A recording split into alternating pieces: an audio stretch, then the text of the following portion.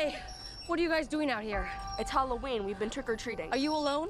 There's a creepy man in a white mask, Where? and he keeps like trying to play hide and seek with us. Where did you see him? Look!